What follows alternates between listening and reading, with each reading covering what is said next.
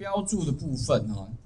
它会自动帮你进位，主要是在这个标注里面的这个标注形式哈。那标注形式里面呢有一个修改，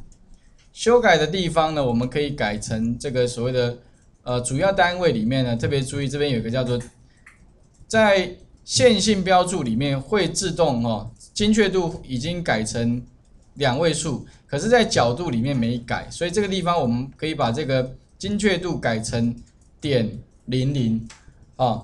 那这个地方当然你要不要这个地方要不要打勾，其实随便你了，因为其实如果前面有零或者后面有零，它自动会把它结尾的地方一般结尾都会打勾啊。主要原因是如果后面有零的话，它是整数，自动会把零给去掉。啊，抑这等于抑制零的这个功能啊，按确定之后的话，再按一个确定，自动就会跑出二十八点九五。因为刚刚很多同学都遇到这样的问题，标注这个角度的这这个问题啊。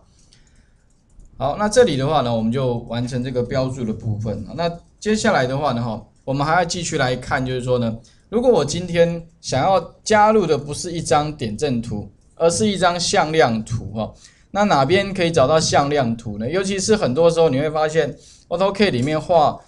光画一个图要花很多时间。如果有现成的图拿来改，应该会感觉快很多了。那哪边可以取得这些很快速已经做好的这个图档，然后拿来给你改呢？哈，但这个是很必要知道，因为很多同学其实要的就是要快嘛，马上可以看到结果，然后修改比例一下，大小改一下就可以用了。那其实哈哪边有向量图啊？其实我简单举个例子啊，第一个呢最。